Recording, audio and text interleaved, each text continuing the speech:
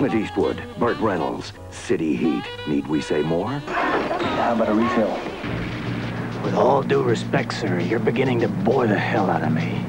Clint Eastwood, Heartbreak Ridge. I think war's just been declared.